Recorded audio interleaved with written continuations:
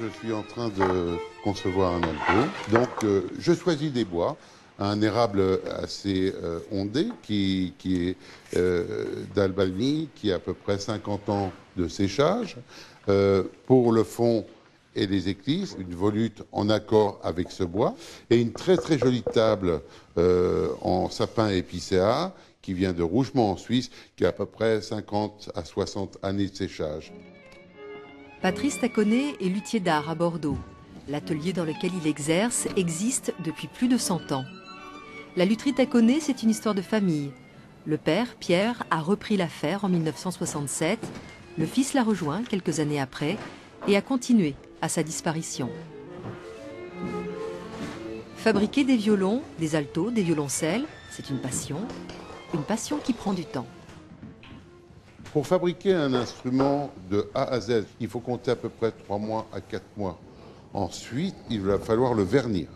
Et on peut passer entre 30 et 45 couches de vernis sur un instrument. Bien sûr que au fur et à mesure, on va passer 3-4 couches, on va euh, polir l'instrument, une ou deux vont disparaître. À la fin, il restera une vingtaine de couches de vernis. Ensuite, l'instrument devra sécher entre 6 et 8 mois avant qu'il soit joué.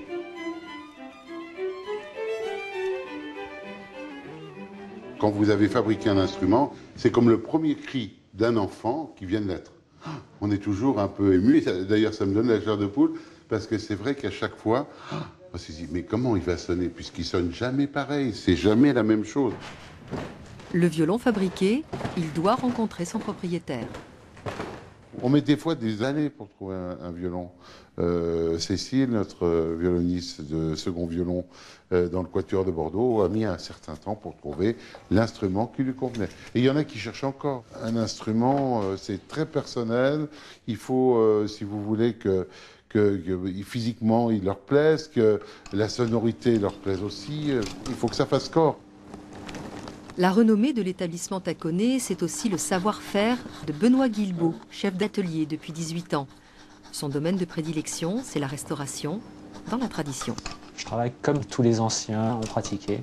On pratique tous de la même façon. On- depuis 350, 400 ans, on fait pratiquement la même chose. Les ingrédients aussi sont les mêmes qu'il y a 400 ans. Benoît fabrique sa colle avec de la poudre d'os et de la poudre de nerf. La recette a fait ses preuves. Certains instruments, assemblés ainsi depuis plusieurs siècles, n'ont pas bougé. Ce qui me plaît, c'est euh, justement de partir d'un instrument existant qui a déjà un passé. Certains instruments sur lesquels j'ai travaillé ont plus de 350 ans. Donc euh, il y a eu plusieurs générations de musiciens qui ont joué dessus. C'est une bonne part notre travail euh, en tant qu'artisan de, faire en sorte que ces instruments durent. Alors évidemment, on peut les fabriquer nous-mêmes, mais euh, moi j'ai particulièrement un plaisir à, restaurer ces instruments, à, leur redonner une deuxième vie, une, une troisième, une quatrième.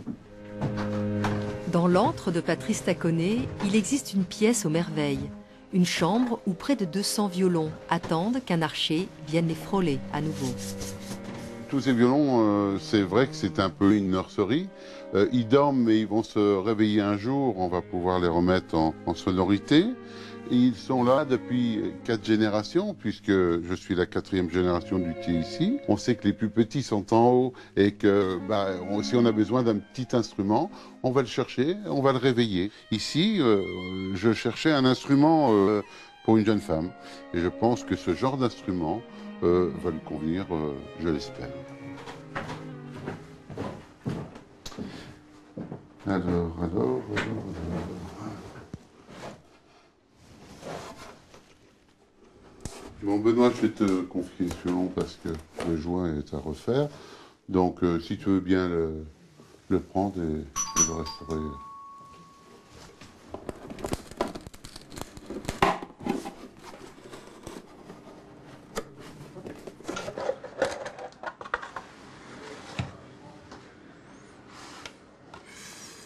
Ah bah, en effet, ça a été réparé, mais un peu comme un gougnafier.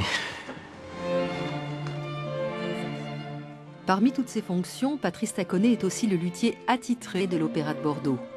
Il se rend régulièrement à l'auditorium écouter les musiciens, surtout leurs instruments.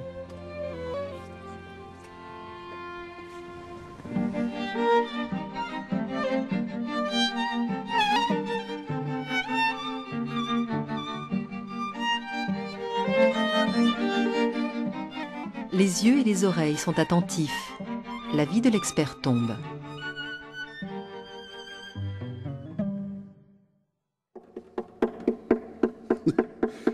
Il est un petit peu ouvert. Ça oui. je crois. Il faudra que tu viennes. T'entends? Je suis pas en face exactement pour les quintes parce que s'il y a un endroit c'est plus bas. Mhm. Mais tu vas pas être déçu quand tu vas regarder ça. J'ose même pas te le montrer, je pense. Ah, c'est sûr, oui. il y Ah, c'est sûr. sa gondole, oui, un petit peu. hein. Non, le mi, il va. C'est pas. Faut se mettre un autre milieu. Ah ouais, là, Oui, c'est vraiment euh, qui- horrible. Le lendemain, Stéphane Rougier, le premier violon du quatuor de Bordeaux, apporte son violon à Patrice. C'est donc la corde de mi qui pose que Je mets un problème. peu trop de pression. Ça change la note sans que je le demande. D'accord. Ouais, ça va pas. Ça, ça va pas.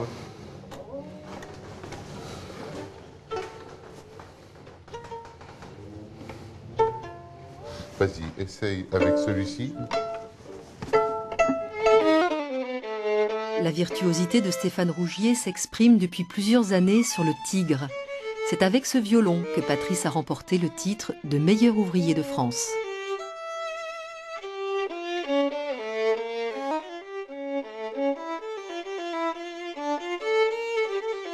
Grand nom de la lutherie française, Patrice Taconnet a la satisfaction d'avoir plusieurs de ses instruments joués dans le monde entier.